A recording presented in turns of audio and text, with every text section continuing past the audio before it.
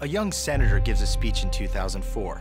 We don't know much about him. We learn that his pastor and mentor of nearly 20 years is fiercely anti American, radical, and racist. We learn of his many questionable associations. William Ayers, a known terrorist. Tony Rezko, a convicted criminal. He is endorsed by radical extremist Louis Farrakhan.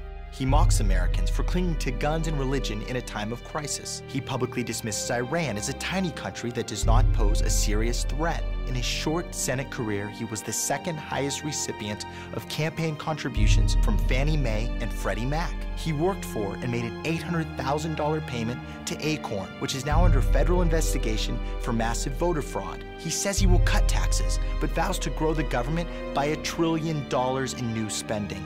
America. You must ask yourself, are you really ready for this?